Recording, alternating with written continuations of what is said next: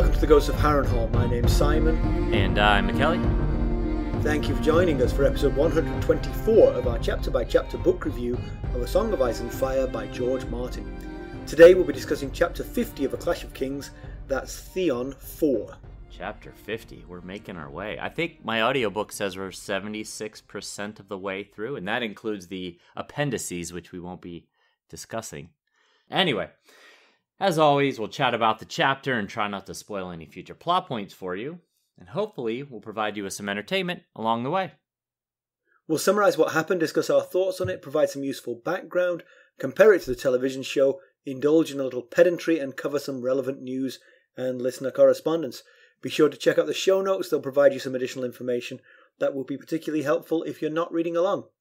How are you, Mackelly? I'm doing well. Y- you know, Carson's uh, rule about thunder in the winter means snow within 10 days Uh huh. held true.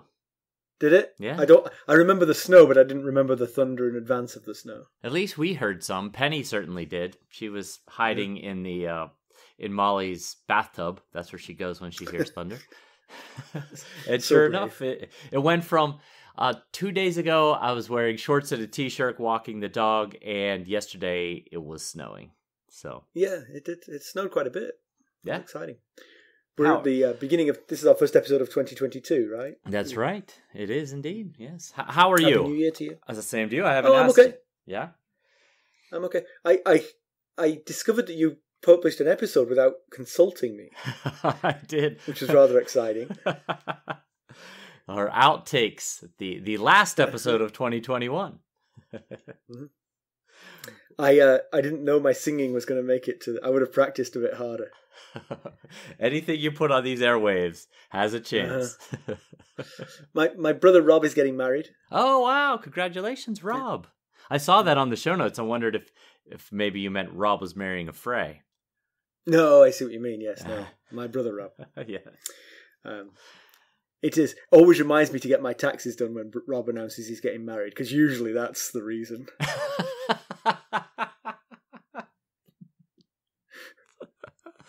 I'm being mean. You're an older brother. You're Rob- expected to be mean. I wish Rob and Sophie all the best. They're Absolutely. they're, they're they're a great couple, and I wish them well. Uh, yeah, so, uh, what did you think of the outtakes? Did they make you chuckle? They, of course, they make me chuckle. I mean, everything we do makes me chuckle. But yeah, they were. I enjoyed them.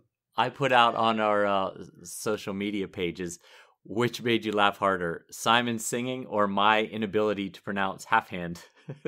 Half hand, half hand.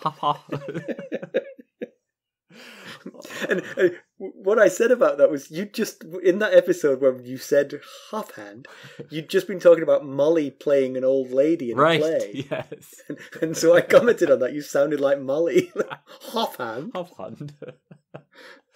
yeah. Although uh, me uh, saying that uh, Bran was quilting in the yard sure got a Oh, pretty, was- ruckus laugh from us. Do you remember what you were supposed to say? Was it like tilting at the yes, quatrain or something Yes, like that's that? exactly what it was. I said he And you was were quilting.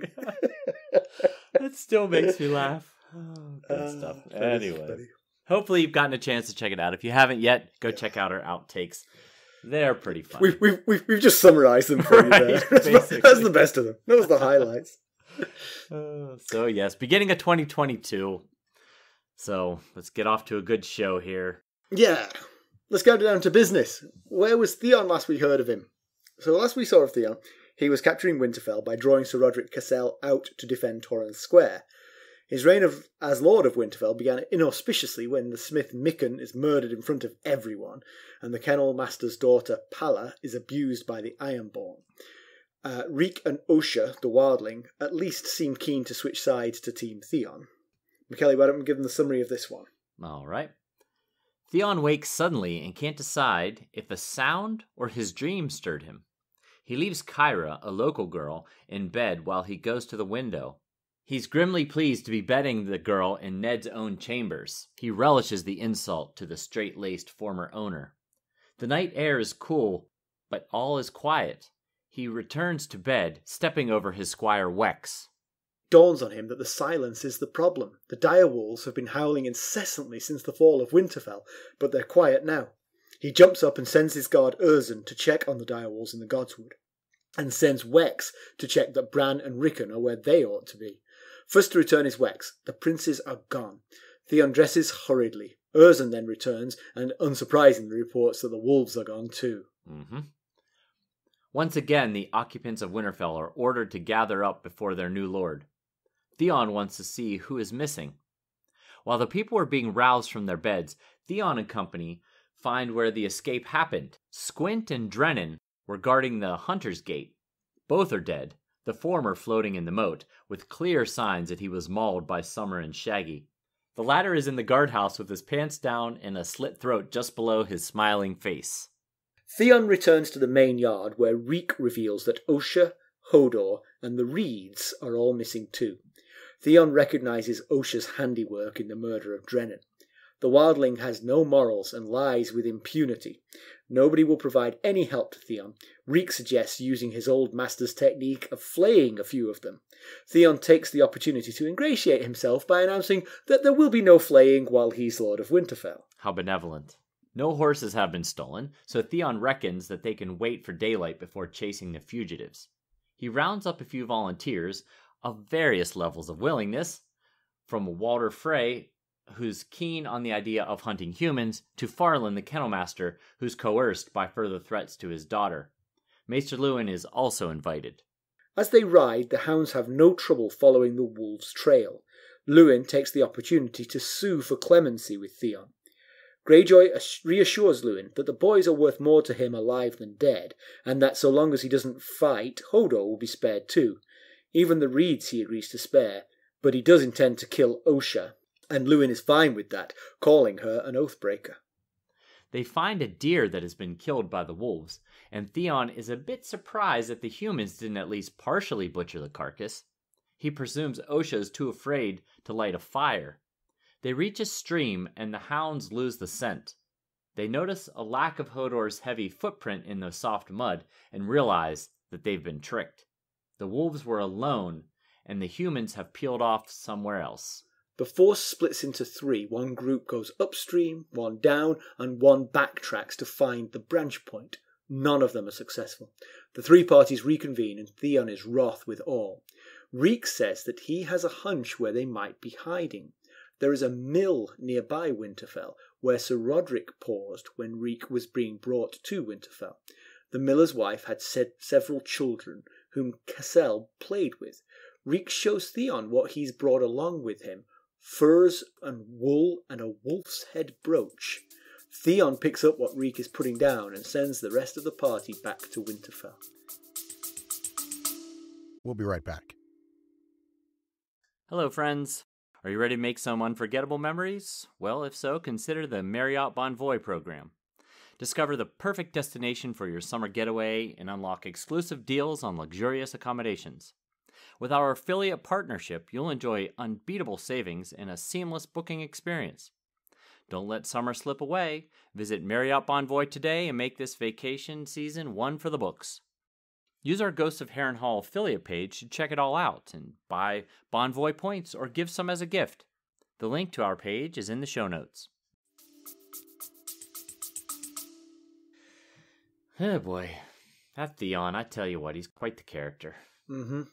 Um, yeah, so um, it's kind of what we, you know, more of the same from Theon in many ways. You know, he's Yeah.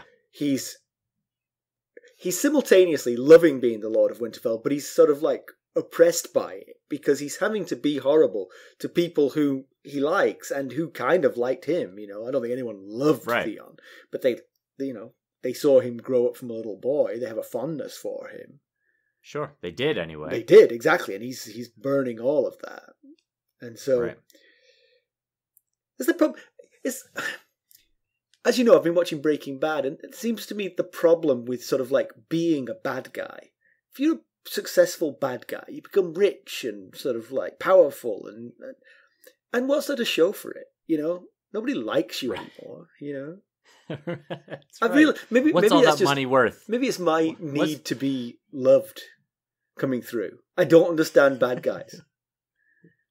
What, what what's the point of all that wealth and power if you don't have friends to share it with? Right. Right. That that's why we make this podcast. We Yes, scrupulously avoid wealth and power whilst garnering friends. That's, that's right. We are wealthy in other ways. Exactly. More important ways. Mm-hmm. So Theon likes the fact that he's despoiling the Stark marital bed. It's not exactly the worst thing he's done recently or on the long term, but it is emblematic of his nastiness and how he feels towards the Starks. But again, I, I still feel some of it is kind of like he's trying to be like that. Yes. He actually was kind of Right. kind of fond of Ned and Kat. He was. Yeah. uh, He, at least he outwardly said so while he was with them. Yeah, But so he's he is, as you said, despoiling the Stark marital bed with with a uh, young girl named Kyra, who I believe he mentions is eighteen, and this is actually the second time we've seen Kyra. Oh, really? Theon, yeah, Theon called out to her on their way through the winter town when Bran was taking Dancer out for a ride. Is the chapter where they met Osha in the Oh, Wolfswood as they were riding through the winter town. He called out to her, and then he he said some things to Robb, and Robb was like, Shh, "Not in front of Bran. Okay. Don't uh, So- don't say inappropriate things in front of Bran." So, did the inappropriate things he said suggest that he was already in a relationship with her, or well, that he had been he had intimate with her had anyway. relations? Yes. yes. Yes, yes, I see. They Uh, very much did. Well, well, that's interesting actually, because that then gives a slightly different. Because because the book, this chapter, I didn't realize Kyra was a returning character, mentions that she was keen to come to Theon's bed, and I was like, it's interesting that he's got one fan, but apparently it was an old friend, you know. Right, an old friend. Yes, that he hasn't uh, spurned yet, Yeah. like he has pretty much all of his other friends. But like you're saying, throughout all of Theon's POVs, we see such mixed feelings and emotions about Ned. Like you, like you said, he seems to want to rule like Ned. He often mentions that he, you know, he will rule like Ned or he's going to do something like Ned did something. But he also frequently wants to tear Ned down, like he does here, kind of taking pleasure in the fact of bedding a, as he puts it, a common tavern wench in Ned's bed. And so, so like when the wolves go missing, he thinks to himself, "I must be cold and deliberate as Lord Eddard. You know, he he's channeling his Lord Eddard. He wants to be like Lord Eddard. And uh, you know, he he's made comments like way back in Cat Three when she discovered when when it was the chapter with the uh, attack by the catspaw on Bran, Okay. and then you know she she woke up and she told uh, Rodrik, Robb, and Theon about her idea that it had to have been the Lannisters involved, and um, he says Lord Eddard is like a second father to me Right. when they're having this conversation. So, you know, in some ways he really wants to be like Ned. In other ways, he really wants to take jabs at Ned. Having now met Balon Greyjoy since that scene, being a second father to him is not really that high of a, an You're honor. right. He's like a second father to me. He's malicious, awful, horrible. yes. No, that's a good point right there. and he also, I mean, you, you, you're making good points. He also likes wants to rule like Ned does, but he, he he does the exact opposite of what Ned does in almost all circumstances. You know, He like- does. he he uses violence and threats and blames the victims for having to kill the people, which is you know right. Yeah, he says things like like he's protecting them. You know, he, he often in this chapter talks to these people like he's protecting them from something or someone, but it's him that has brought all of the problems that he now has to in quotes protect them Yeah. from. So, but you know, pro- mixed emotions are probably not too uncommon when you when you're dealing with a father figure who sets at the same time such a lofty standard and also expects you to uphold that standard when maybe your nature isn't necessarily to be able to do that you know so yeah. So um, going back to Jojen's green dream before all this happened, he dreamt of the sea coming to Winterfell, and in it three people died, but only two of them died in the previous chapter. That was uh, Mikken and Alebelly, and sure enough, they did die. But Septon Chayle was died in the dream, but was was hale and hearty when we left him. He- But now was. we learned that he was pushed down the well after which which I've got to say why if you're going to live there why would you push someone down the well i mean his body's going to rot down there and pollute the water Uh, solid point. If especially if you're afraid that you might be, uh, you know, surrounded and and besieged, why would you want to right gum up one of your wells? Yeah, I- that could be an important. i thing. think that's a key part winterfell must have multiple wells because it's so huge I guess, yeah, probably does. But still but you make a good point. Why would you? There's got to be other places you could have sacrificed him to the drowned god. You know, like I'm sure in the stables there there was you know a. Uh, what are those things called? yeah one of those trench bucket Oh, tr- yeah, trough, Trough, trough a of trough, water. Yes, that's the word. I'm sure there was a trough they could have drowned him Uh, listeners Yeah, that wasn't in the point. notes if it's not in the notes, we might him and haw a bit. We'll be right back. This episode is sponsored by Audible. To get a free audiobook, or two if you're an Amazon Prime member, go to our exclusive URL, audibletrial.com slash ghosts Harrenhal. You can find the link in our show notes. So I, I noticed that Theon's being guarded. The door to uh, Ned's chambers is Ned's chambers. It's always going to be Ned's chambers. Doesn't matter how lo- how many are. people take over Winterfell. They're Ned's chambers. Um, like Tyrion said, the uh, Stark will always be the Lord of Right. Winterfell, Theon. So. So Theon's being guarded by Urzen. Um, but that's interesting because he doesn't have enough men to guard the walls. So having to guard the walls himself and the princes, basically he had to leave one of these free, and that's how the princes got away. They couldn't have uh, Ironborn on every door, and so Yeah. Yeah. His logic is solid. I mean, you would want someone guarding you because you you're not the uh, most favorite in this Right. castle right you are, now. you so are you might- detestable. Yes. And you need someone guarding the walls.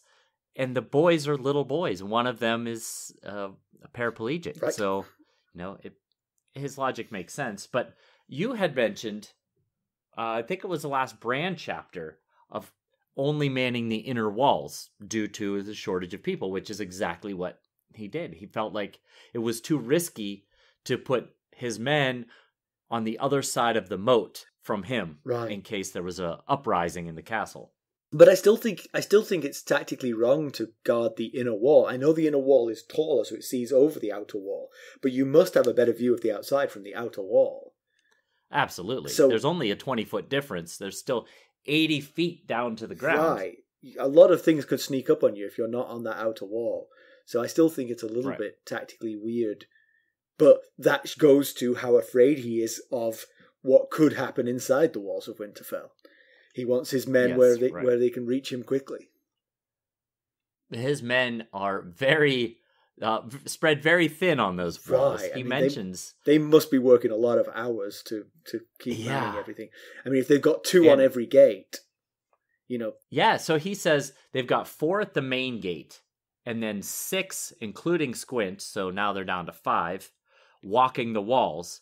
And he also mentions that there's significantly more turrets than men.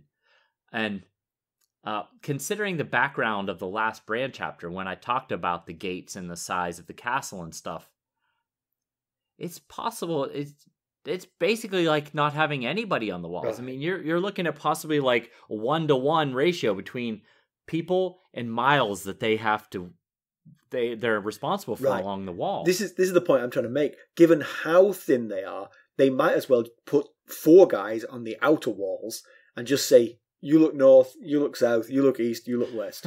Right. You know, yeah, I know. Uh, absolutely. Send up a firing arrow if you if you see something, and we'll come running. You know, Now he does mention early in this chapter he thinks I don't have enough men, and he wonders if Stygg has made it to Deepwood Motte yet, uh, with with news of what he's done here at Winterfell, and with the request or maybe a command, depending on uh, how he worded it, of Asha to come from Deepwood Motte with reinforcements But to help him hold this. but do you think better. she'll come? I mean, I mean, Theon's gone off book here, and Oh yes. I, I'm not saying that Ironborn are sticklers for the rules, but she might not seeing anything in it for her and her men. Oh yeah, absolutely. Uh, On one hand, she probably doesn't like the idea of him trying to show her up Right. by going off book and trying to take the heart of the North. And on the other hand, he would be out of her hair if she just let this castle fall and him be killed and the, Right. the they wouldn't lose that many men. No, They've only got they're down to like to 28 now. Yeah. they sent Stygg off so they're down to like 27 men now. Stygg arrives. He says, "Do you want to come to Winterfell, or can I just join your group?" right. um. So when they get to the scene of the escape, Theon does show that he's fairly smart. He puts the pieces of the scene together quite well from the scraps of information. Um, yeah. He notices that there's two cups in in, in the uh, gatehouse, and that Drennan's compromised position. That doesn't exactly take Sherlock like deductions here. His pants were around his knees. there were Hon- Honestly, though, that could have happened with only one cup present. The second cup is actually helpful for this deduction, if you ask me. the uh I, I guess yeah that that's a good point he does spot the hastily wiped blood on the crenellation and that's how he discovers where squint was killed because they find squint floating in the moat Right. and then he realizes what's happened and he he goes up onto the crenellation sees that there's blood there and realizes oh here's what happened he was up on the wall he heard the uh, gate go down went to go see what was happening was attacked by the wolves and then they they pushed him over Or, or he may have jumped to try and get away from them, to be honest. Maybe. Uh, and then later he notices that the elk only had wolf bites uh, taken out of it, no steaks cut from it, which he thought was odd because even if she, even if Osha was afraid to light a fire, she still should have taken some elk steaks for later. Yeah, yeah, that that was an interesting spot. And of course, given what we now know happens for the rest of the chapter, we realise why this was. It was because the wolves were all Right. on their own. They they she should have given them more specific instructions. If you kill an elk between here and the river, I want you to take this knife and then sc- saw a bit off to make it look like we were with you. Yes, that- Uh, that but was- yeah, it is. It Theon's quite clever, and it's a shame he's misdirecting that cleverness. Yeah. Uh, between him and Wex, noticing uh, that Hodor's footprints are missing from the soft mud, they've got a real like Holmes and Watson vibe going on here. he needs to give up this lordship thing and become a detective. Isn't it more like those two magicians? What are they called? Penn and Teller. Yes, maybe. yes, right. It is. because Wex doesn't talk. This that, was right. Yes, I I picked up what you were Yeah, putting down. exactly. there. Just making that clear. Theon thinks that he should have killed the wolves the day that he took the castle. And it's one of many shouldas, uh, shoulda done somethings that he mentions or thinks about in this chapter. He he thinks that he should have killed the wolves. He thinks he should not have trusted Osha, and he thinks he should have put guards on the Stark boys. There's one shouldn't that he maybe wanted to think about earlier is maybe he shouldn't have tried to take and then hold an entire castle with 30 men. Yeah, and, and, But, and especially I, I, maybe this comes across more in the TV show, but I think I think it's it's been a background in the book that has been sort of fallen by the wayside a little bit. Is the thirty men don't really respect him very much either. True. So I'm not sure they're going to fight to the death for him. You know, sort of especially if things start to go wrong. You know, I mean, he's just lost two more men. You know, if, Right. if if things get a little bit hairy for him, they might all go off and join Asha. And and Yeah, actually, by the way, they they mention in this chapter he feels like there's a Osha and Asha having similar names. He's like they remind me Yes. of one another. They're always a pain in his backside. Right.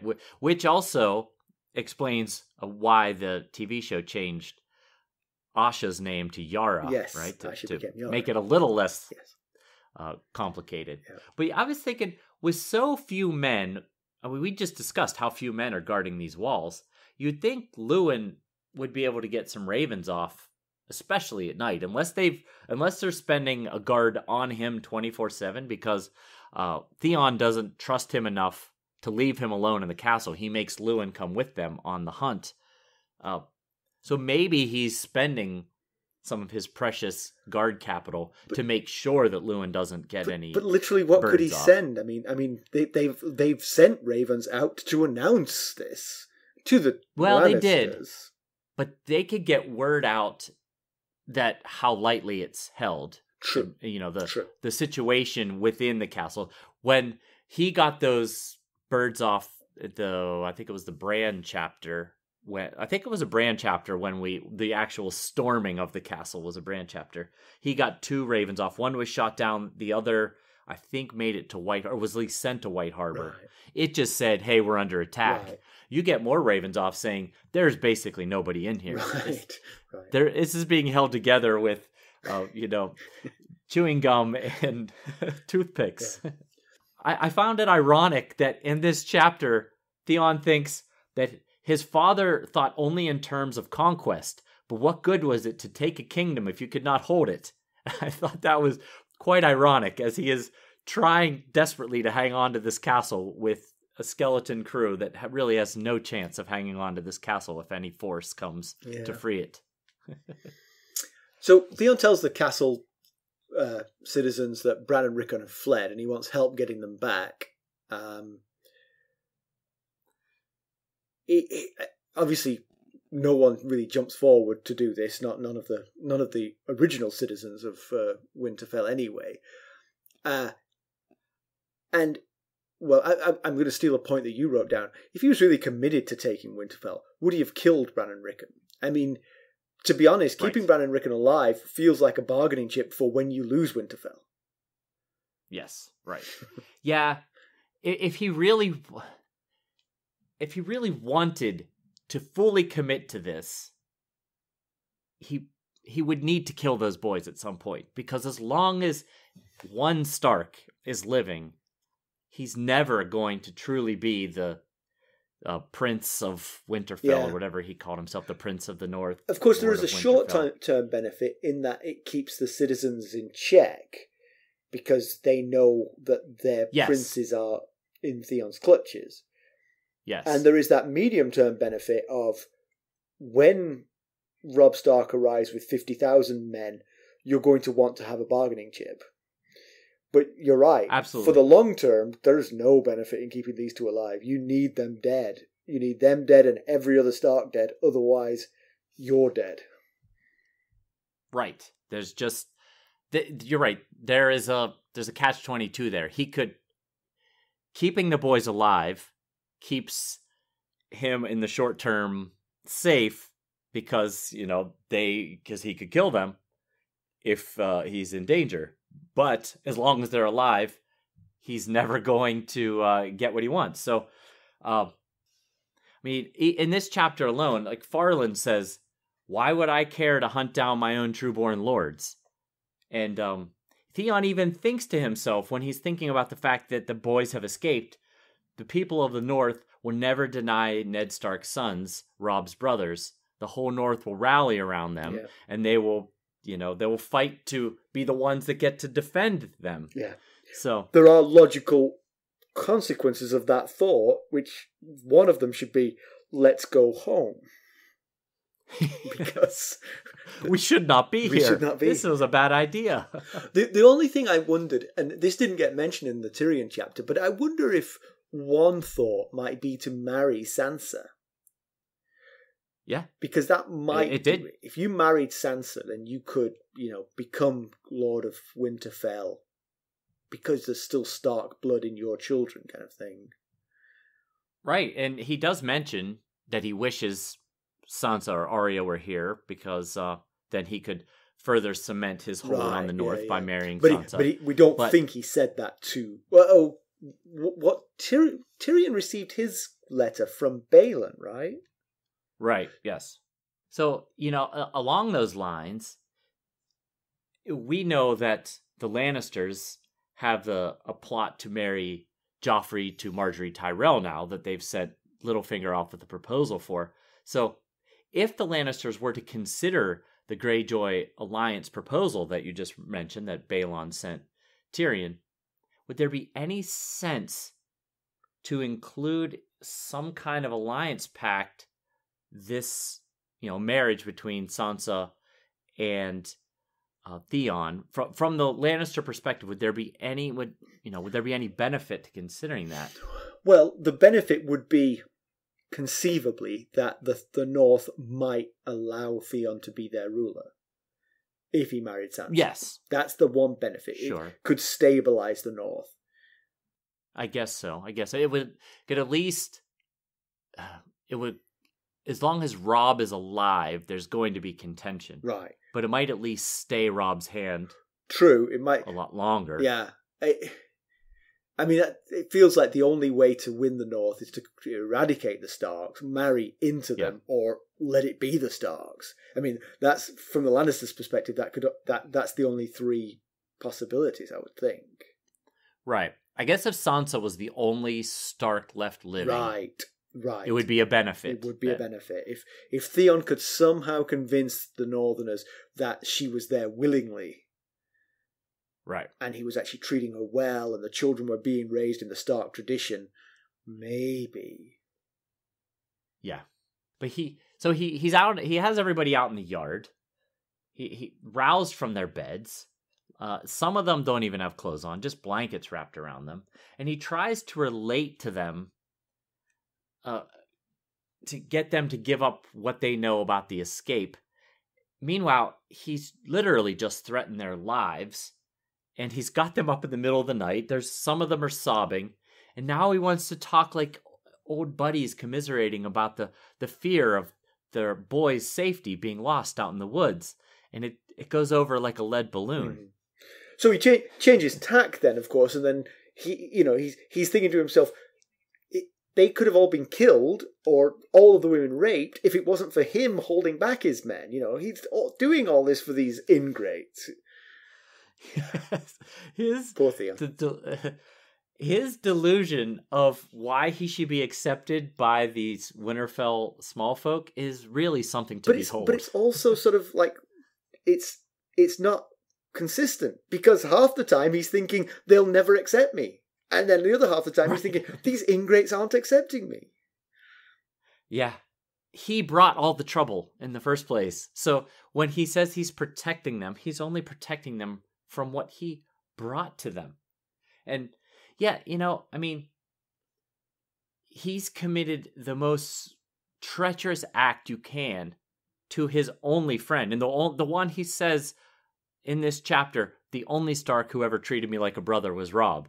And that's the, the same person that he has completely uh, been a traitor to. And these people are aware of that. They watched him grow up as a brother to Robb, Yeah, and now they see him trying to steal his kingdom. So, Yeah. I mean, he must Yeah, realize that they hate him for this, and, and and they've got every right to hate him for this. You know, yeah, yeah, you're right. I mean, somewhere in his subconscious, he's aware of it because he thinks these people hate me. But yet, at the same time, he's like, why aren't they loving me? Why aren't they realizing what I'm doing for them?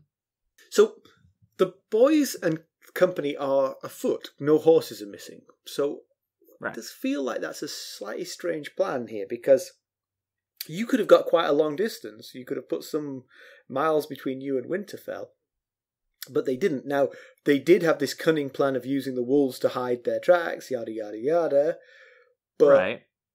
um, Yes, I'm with you on that. It seems like the plan was fairly well thought out and coordinated. There was multiple components to this master plan. perhaps there were horses waiting for them at the point where they branched off from the wolves. Oh, yeah, that could be. That could be. There could have been another element that we're not aware of. Not from within Winterfell, but from without, yeah. Yeah, yeah.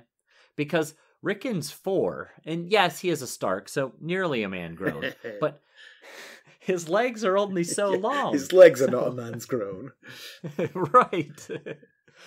but I thought that it, that detail, the fact that there were no horses involved, at least not that we're aware of, I thought it probably should have struck Theon as a bit odd or suspicious, and he might have thought, something's going on here. I got to keep an eye out for something unusual because this makes no sense. Why would they go out on foot? Yeah. But I think he was just too confident about his abilities to track them down to really think about any anything like that. Yeah. So th- one of the few people to volunteer to help hunt them down is uh, little Walder Frey. Uh, you, it takes a lot to stand out as a cad in, in the amongst the people of Winterfell right now. But young, young, young Walder Frey has come up with the goods here. He has. Uh, yes. And we assume that it's Little Walder Frey. It's never I actually thought it stated. said it was Little Walder, but maybe I just. it imagined just said Walder Frey, and then they said his cousin. Uh, Cousin made a comment. So, but the way he disparages the Reeds, and um, you know, later toward the uh, end of this chapter, really makes you assume that it's Little Walder Right. because uh, he's the one that did that earlier when when the Reeds made their first appearance. Yeah. But uh, the- so Theon, um, he he recognized. It takes him a moment to recognize the boy, and at first I thought, well, how would he have recognized Little Walder? The Walders got there after Robb rode out, so why would he recognize him at all? But if you're wondering that same thing, I wasn't until you brought it up, but now I am. well, Theon arrived at the twins with the report from uh, Brynden Blackfish Tully for Robb about the Lannisters' movements. So he was there when Cat went in to meet with Walt with Lord Walder Frey. So it's very possible that he met the two that were going to be heading to Winterfell. Yeah. Oh, well, they all look alike, right? The Freys have a certain look, so probably he recognized them as a Frey, you know. And Could be that too. And probably guessed his first name was Walder because it seems to be the name. You know? There's about a, at least a 50-50 chance you a that you right. Walder? Walder? Um, so Reek is another one who joins sides, uh, who who does want to help Theon find the princes. He urges uh, Theon to strip off their skins, the people of Winterfell, to get the information that they need. But what information do you need? They went out the door. Hodor's carrying Bran. They've got the dire wolves with them. What what, what are you going to Yeah. tell them? I mean, what, what what could you possibly extract from these people? Some of them might have helped. It's true. right. They're already out the door, out the so you can't foil the plot Right. at this point. No. So yeah, if there were horses missing too, maybe you know where did which way did they go? But again, you follow them with your hounds. You know, I, I just don't see the point of terrorizing the people here. There's nothing to be gained. Right. Yeah, and th- again, Theon thinks he says, as you mentioned earlier, there will be no uh, flaying of people in this in Winterfell, and he thinks that he's the only one protecting these people from the likes of Reek, right. and he's hoping the people will realize this, but. It's only because you put the danger there in the first place. Yeah. So once again, he's he's only looking at it from his own perspective, not from the larger perspective. But then he mentions Reek as one of his own. He says he wants to bring some of his own men with him. And I thought that was noteworthy considering um, he just met Reek. And especially after Osha seems to have broken her oath, which she made right after Reek made his. So uh, maybe Reek has, has done some things to really prove to Theon that he's one of his. Suggesting flaying his enemies, possibly one of them. Um, so, what we have to be careful of a spoiler around the end of this chapter because it's not crystal clear what the plan is. But Reek Right. had a plan from the get go here, which was to bring with him some fur cloaks with a wolf's head brooch. So yes. um, we'll let we'll leave it to you guys to think about what what it might mean. But it's interesting that he thought of it before they ever set off. he came prepared. Right, He didn't know what they were going to find when they got out there. right. But some reason he brought wools and furs and a wolf head brooch. So I, you know, it got gets you wondering: Did he know that this was going to happen? Did he know what the plan was in some way? Well, the one thing I'll say is that it was always a contingency if they couldn't catch the boys. That's the thing. He never mentioned what was in his bag until they'd concluded we've lost them. We don't know where they are. That's true. so it's yeah, it yeah. was always a, a backup plan for that. So Yeah, that's true. um, Yeah. So We'll have to see. when they when they ride out, um, Theon leaves the castle in the hands of Black Lorren, and he's told, "Do with it as you will if I don't return." So uh, Black Lorren is not one of the nicer members of the Ironborn, so uh, No, that's a reason for for everyone to hope that Theon gets back safely. In fact, the last we heard of Black Lorren, uh, when they were on the stony shore, and Theon was trying to uh, kind of puff Dagmer up a little bit, uh, talk him up to butter him up, so that he'd go along with his plan. He uh, he told Dagmer that you're the the most skilled swordsman and spearman on the Iron Islands, and Dagmer said not anymore. And he mentioned three names, and one of them was Black Lorren as one of the most skilled swordsmen and spearmen and most feared and dreaded on the islands. So Yeah.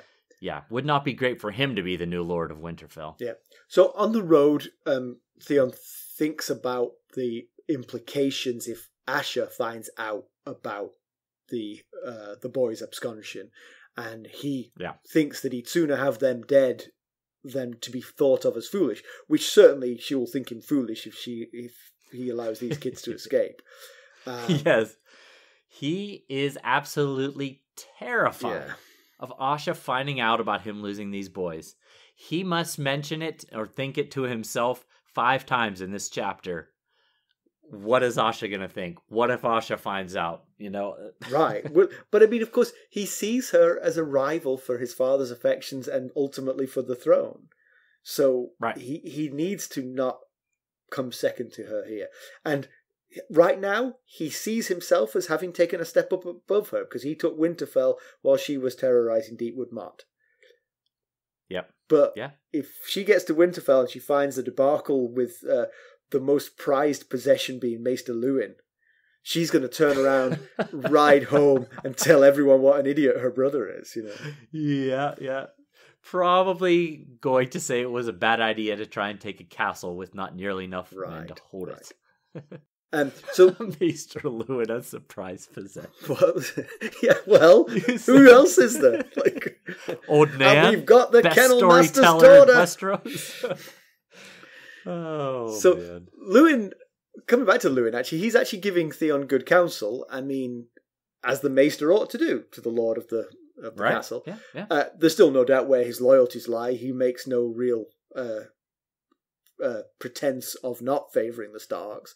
But No. In fact, it's very smart of the way that he plays on Theon's personal connections with the boys in Hodor. You know, any other conqueror, if this was Asha, she wouldn't care Right. who the who uh, Hodor is, and you know, um, so he uses what he has at his hands here. The fact that there's a personal connection between Theon and these people. So, um, but Theon says the boys have more value to me alive than dead. Right. So you know he's he's not planning on Yeah. killing them at this point anyway. But like we've discussed earlier, there's the catch twenty two. Yes, yes, the short term he needs to keep them alive. Long term, he cannot survive as Lord of the North with them still alive, unless he can somehow keep them forever as you know hostages. But that just Right, seems- which seems unlikely. Right. I he, I he hasn't managed think. to, to get through a week, and they're both children. They've already escaped him once. Um, yeah. but then Luwin, so Luwin tries to make sure that the boys and Hodor will be safe, but he totally abandons Osha as an oath breaker.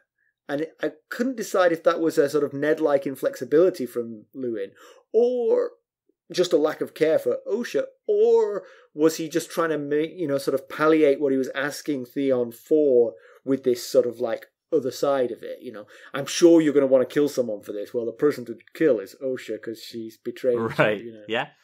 That very well could be. I thought maybe it was him not wanting to push Theon too far. Right. Right. Right. He- right. He'd already gotten the Stark boys, the Reeds, and Hodor, and he was, it, you know, when Theon made it clear, don't even try to convince me not to kill Osha. Right. Uh, he was like, okay, But okay. the one thing I will say is, it also would make sense if Luwin was confident they were going to escape. Luwin was confident they were going to escape. That he sounds more plausible saying that. If he Sure, thinks they might yes. get captured, he might not say that because he doesn't actually want Osha to die. But he, maybe he's been involved in the planning of this and is confident they'll get away, Yes, that's allowing him point. to Yeah. talk the talk. Right, yeah, it makes him much more credible if he Right. doesn't look like he only has the Stark boys' interest at heart. Yeah. But you know, you mentioned that Luwin is giving good counsel here, which I agree he definitely does.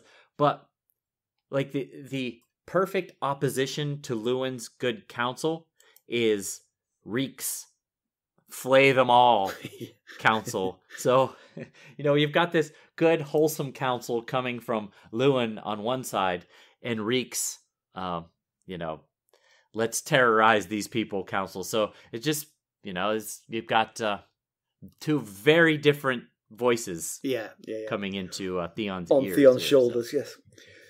So, so Wex Pike, who we mentioned is Theon Squire, so just a reminder of who he was. He was Sargon Botley's bastard child. He became Theon Squire as part of the deal that gave Theon Sawane Botley's horse, Smiler, on the Iron Islands. Remember, he was riding around on a horse called Smiler. Um, Wex is Right. mute, but he seems like quite a sharp kid. Um, it was he, as you mentioned, that noticed the lack of Hodor's footsteps at the river in the soft mud. They could see the wolf's footsteps, but Hodor's, which obviously would be heavier, especially because he's carrying Bran, um, had left no footprints. He had not been there. Right. So uh, Yeah.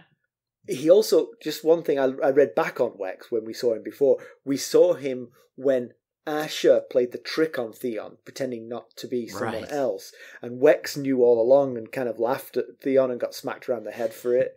So I kind of like Wex, and I, I, I I'm going to keep an eye on him for the future. Yeah, and you know, he's probably also a voice in Theon's ears, but not his ears per no, se. no, yes, he's not going to listen to him. I tell you that for free. well, things do not go well during the hunt. They come up empty handed, and Theon thinks if he comes back to Winterfell without the boys, he might as well just show up wearing motley. and it's definitely it's a not a good look being outsmarted by that particular party which contains Hodor and four uh, children. Right. So uh, it's it's not going to help him on any of the fronts. The the Winterfell people, the North at large, and the Ironborn, including his family, are all uh, you know probably going to look at him differently if he fails so miserably at this. Yeah, I mean, he he was overconfident that he was going to catch them, but I kind of understood it. You know, they were on foot, and even if they had horses waiting for them outside, he was going to be on horseback, and he wasn't a child, and they had tracking dogs. They were going to catch them, apart from this trick, which somehow has got them away. Yeah, it it fits with the standard process that Theon goes through. He begins with an overestimated optimism for himself and full over over confidence in his abilities and then things just go poorly for him. We saw it when he arrived at Pike and he thought he was going to be the new prince and it turned out that his dad uh, had very little regard for him. We saw it when he thought he was going to take Winterfell and become the Lord of the North, and it was going to be no big deal. That hasn't gone as he envisioned it, and now we see it here with this hunting party. So it just it seems to be the process that he goes through. Yeah, it's a good point. Actually, I, um, I might look out for that. I remember that we felt that Jon chapters were often the same kind of like Jon makes silly proclamations, and then wiser heads tell him to behave himself, Yes. and he came back down. And that kind of happened over and over again on a pattern. There might be a pattern forming for Theon here as well. We'll keep an eye out for that. Right. So, Yeah. so Reek thinks the boys are hiding at some random mill with the family who runs it. that He stopped there on the way to Winterfell. Theon questions how he could know that. And again, this goes to you can he trust anyone? Because maybe Reek knows where the boys are somehow. Right. Um, but Reek says that he- that that answer is beyond knowing, which is kind of cryptic and not very helpful. I would, if I was the boss, I would be like, all right, I want straight answers every time. yes. So- that answer's not going to fly. Yeah, exactly. Yeah. Uh, in the sack he's been carrying, he's got some clothing and a wolf head brooch. And Theon understands what this means. Uh, I we before we came on air, Mackelly and I debated whether or not we could reveal this, and I think we can, and Mackelly thinks we can't. So we're not going to. But when you all write in and say "duh," well, there might be some folks out there who don't it, it put these pieces together. It is yet. hard. It's hard. As I read it, it didn't make it clear to me. But then as I thought about it afterwards, I was like, well, what else could it be? It's a, it's a brooch with a wolf's head on it. It's a symbol of the Starks. Clothes. But it does seem that Reek is quite sharp and uh, quite a It does. plotter. Yeah. So it does explain perhaps why Ramsay Snow kept him around because, uh, despite his malodorousness, because he's Right. he's got some good ideas. He does. It's it's a little bit surprising that this guy whose name is Reek is quite clever and Yeah. you know seems to think things through and think ahead pretty well. I see apparently thinks ahead further than Theon does. Right, and and especially like like we said, especially because this was a, a contingency that he was coming up with, not just the this is what we will do. It was like a if things go a certain way, we'll need this, and I'll bring it just in case. Right. You know, That that takes an extra level Yeah. of uh, of, of uh, planning there. But then the chapter ends with with Luwin reminding Theon of his promise of mercy to the boys, and Theon says that was this morning. That was before they made me angry, which is rather ominous for the safety of the Stark boys. But unless this brooch in some way proved to Theon that the boys did indeed go to the mill, if he doesn't have them, he can't harm them. true, So, true. Yeah. yeah. We'll see. Do you have some background We'll for see. us? I do have some background. I had to dig a little bit, but I came up with something. So do. Theon told was that You always do.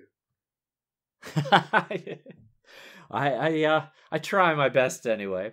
So Theon told uh Septon Chayle that he and his gods had no place in Winterfell now before they pushed him into the well as a sacrifice to the drowned gods. And that is true. The faith of the Seven is not very prevalent on the Iron Islands. The vast majority of the Ironborn worship the drowned god.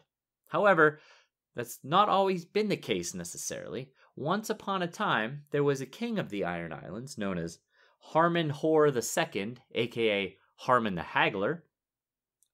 Now, Harmon spent his youth as a ward uh, of House Lannister in Casterly Rock. He was a big fan of travel. In fact, Harmon was thought to be the first king of the Iron Islands to visit the mainland of Westeros in peace. And when he became king, he married Lady Lelia Lannister, who was the daughter of the King of the Rock, which I think might make her Princess Lelia, but Mhm. whatever. At first, King Harmon followed the both the drowned god and the faith of the seven, referring to the eight gods rather than the seven, considering the drowned god as the eighth god. However, after opposition from septons and priests of the drowned god, Harmon relented and claimed the drowned god was actually an aspect of the stranger. As his kids were raised in the faith of the seven, when his oldest son, Harmon III, aka Harmon the Handsome, succeeded That's that him on the blood. that's right. Yep. They bet he had Uh-huh. golden locks too. Uh, when he succeeded him on the Seastone chair, he continued the practice of worshiping the Seven. However, Harmon III took things a step further. He outlawed reaving and taking salt wives, and he opposed the taking of thralls. That move, those moves did not sit well with many of the Ironborn. A, a priest of the drowned god, known as Shrike, led a rebellion, and Harmon was not just dethroned, but his body was mutilated, having his he- his eyes, tongue, and nose removed. Ew. Harmon's brother Hagon Hoare took the throne and restored traditional Ironborn practices after that. Harmon, still alive though disfigured, was confined to the dungeons of Hoare Castle. Their mother Lelia, was also mutilated and returned to Casterly Rock. This led to a war with House Lannister, and after seven years of fighting, the Westermen eventually conquered Great Wyk. Sir Aubrey Crakehall considered restoring Harmon to the throne, who had been rotting in a dungeon all this time and was now considerably less handsome. However, instead he decided to give the gift of mercy to Harmon. Well, thank you. Interesting. I'd Yeah. never heard that tale before. Me either. I thought it was pretty Yeah. pretty cool. So, comparison with the television show, uh, we watch the escape happen. This is not from Theon's perspective. We actually see the escape happen, including Osha seducing the guard. And in fact, it was Osha that was sleeping with Theon. She sneaks out of Theon's bed, seduces the guard, kills him. Um, Wow, she's busy. again, and so when Theon awakes, his bed is empty, and that's his first suspicion in the show. Okay, I follow it. Yeah. Again, the Reeds have not joined the show yet, so it's just the foursome Bran, Rickon, Hodor, and Osha, plus the two direwolves. Uh, the whole Theon trying to win over the citizens aspect is skipped. He beats up one of his men for allowing the escape. Black Lorren, in fact, is who he beats up. And it's just him, Luwin, and the Ironborn hunting. There's no sort of like debating with the people of Winterfell. Um, All right. he does have the conversation with Luwin about not killing the children. There is no Reek. Indeed, Ramsay Snow is still alive in the TV show. Um, because just recently, Roose Bolton was talking about uh, appointing his bastard to some position somewhere.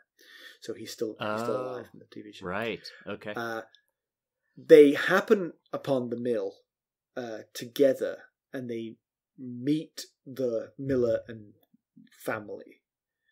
Um, oh. and then Dagmer is there, and he raises an eyebrow to suggest something to Theon, who then sends Luwin back home. So the same plan Okay. is hatching, but uh, Reek was not there to suggest it. All right. So Good stuff. pedantry um, it's a, just a character decision and character decisions are always those characters decisions but if theon's been there for a few days and the wolves have howled relentlessly i'd be surprised if he hadn't already killed them seriously It's a good point. Either muzzle those wolves or and you know what take them out. the citizens of winterfell would not rise up against him for that they'd be like oh thank god Thank God. Thank the gods. but yeah it's a character decision you know maybe he just felt that he should keep the direwolves around but the one Very astute pedantry. I like that. Uh-huh. The other one I had was the butchering the deer, the butchering the elk. So, um, they were an hour outside the walls of Winterfell when that elk was brought down by the direwolves. Do you not think they might have packed just a little bit of food for this journey? They're hungry a- already. Least How many times have they A light- stopped? a light picnic or something. Right. I mean, Hodor's a big fella; he can get through a bit, but you know, Hodor saw that elk. He was like, "Oh, come on, let's stop." Come on. We need to eat. It's been an hour. So An hour. That just never made any sense to me. That you you wouldn't need food at that point. and it's the direwolves. They'll kill deer all, and elk all along the way. You can get one later. That's that's a good point. Yeah, yeah. News and notes. George Martin has seen a rough cut of the first episode of House of Dragon and loved it. It's dark, it's powerful, it's visceral, just the way I like my epic fantasy. So, uh, right up there in the most anticipated shows of 2022, along with Lord of the Rings, of course. Right. And they're gonna be a good year for us one nerds. Most anticipated show. How about that? In 2022, the two most anticipated shows are House of the Dragon and Lord of the Rings. yeah. Yeah. A lot of fantasy Mhm. uh, folks out there.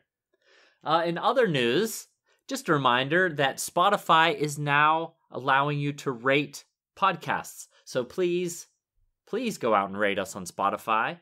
Uh, other A Song of Ice and Fire podcasts are getting rates. We want to keep up with them. So No, we want to leave them in the dust, is what we want to do. we want to leave them in the dust. Exactly. We certainly don't want to fall behind them. So it's time for you all to do your part. 51% of our total listener base is on Spotify. Uh-uh. So get out there, take but a second, just swipe your finger across to five stars, and we will be forever grateful for that. That'd be great. So please, please do that right now while you're listening. So uh, rather than a review today, we we actually got a, li- a listener email from a listener named Malaku. And uh, the subject line was If there was a great council for the best Game of Thrones podcast, you had my support. Oh, So I, I would ensure that they were on that great council then. That's right. Uh, so the message goes like this First of all, I want to congratulate you guys on a great podcast. From the first minute I started listening to the prologue of Game of Thrones, I was convinced that I found the right podcast for the book series. I had tried a few of the others, but yours was the one standing out to me. That's fantastic. I, I come from the Netherlands, so English is my second language, and I'm not perfect in speaking, reading, or writing English. Nevertheless, I started reading and finished the books in English because, in my opinion, it's so much better than when it's translated to Dutch. Therefore, I have missed some things that has happened in the books, and your podcast is helping me relive it and understand it so much better. I've also created a Discord account so to join your community, and I'm looking forward to the episodes to come and join the conversation in Discord. So a big, big thanks from the Netherlands for your great work. Keep it up. Well, thank you, Malaka. That's awesome. We'll, we'll see you on the Discord server. That that uh, that'll Yes. be fun to catch up with you. Um, I will say actually, Thank you very uh, much. the like all Dutch people, they played down their quality of their English while delivering perfect English. I was thinking that while I was reading Uh-huh. this. I was like, this is perfectly written. My my wife maintains one hundred percent cast iron truth that Dutch people speak English better than English people do. She can't understand anything English people say, but Dutch people speak speak perfectly. They they so Wow, yes. Well, it certainly holds true in this Yeah. instance. So thank you very much. That was a beautiful email, Thanks, and we really appreciate that. So let's conclude. So there's real trouble for Theon now. If he cannot recapture the boys, then his only leverage in the perilous ownership of Winterfell is gone. I mean, all he's got left is threats now. Yeah, at that point, what is preventing any par- uh, force from just doing whatever necessary? Right. I mean, you know, like just torch the place Yep. to uh, to get inside if necessary. Yeah. So yeah, Reek's becoming a character. He's smart and clearly fairly ruthless, it seems. I mean, certainly what he was willing to do to extract pointless information out of people was pretty brutal. yeah, he- seems much deeper than just some stinky Yeah. small folk sidekick. So, like you said, you could see why Ramsay kept him around, why he seemed to be fond of him. He, he certainly seems more than just a a wallflower background character. Yeah. He he's starting to develop a persona of his own here. And uh yeah, it also like you said he's smart. So you know, he was the sidekick of the heir to the Dreadfort, so maybe he picked up some education along the way And as well. Certainly some brutality. Yes, uh, yes. Yeah. just just did not pick up much in the way of hygiene apparently. No. so he- he's the polar opposite to Luwin. Um, so Theon's hearing awful advice and good advice. Um, and Theon, Luwin convinced Theon to spare the boys, but then once he got angry with them, he said all bets were off. He said that was before they made me angry. So, but again, he's still got to think about the the leverage that they bring him, and uh, I, I I can't imagine killing the boys is the right thing to do here. But hey, No. POV characters are not safe. Right. Yes, we've we've come to learn that, that's for sure. It's very clever of Osha to mislead the hounds with the wolves, of course, because the hounds, it didn't really occur to me as they were leaving, but the hounds would follow the wolves' smell. I mean, that's that's the obvious smell to follow, and all you have Right. to do is just jump the- off the path in a different direction, and they would not notice you going because they follow that wolf smell. Yeah, and that is the smell that they were sent on. Right. Farlen he's uh Theon says, Can they are you sure they're not following the wrong wolves? And Farlen says, No, they know the smell of Shaggy and Summer, so that's the scent that they were Yeah. following. But I do wonder if it was all Osha on her own. Little Walder thinks that the the reeds have some part to play in in all of this. He says that they're not like other people, and then Luwin agrees and says that crannogmen grew close to the children of the forest in the olden days. So, and that maybe there is some secret knowledge that these crannogmen have. So I don't know. Could could little Walder be I've right? been giving Osha too much credit, perhaps. Yes, good point. I hadn't thought about the fact that Reeds might have been involved.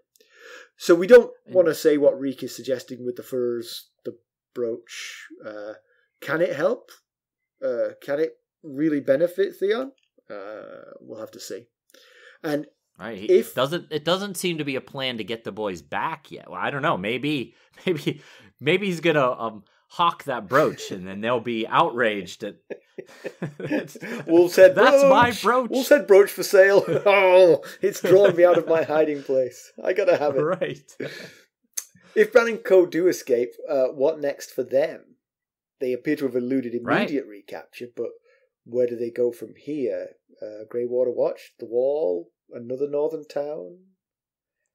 Yeah, as long as one of the options isn't Deepwood Motte. That would be the bad Or choice. Moat Cailin. Yes, those those are not the places to go. Yes. Right.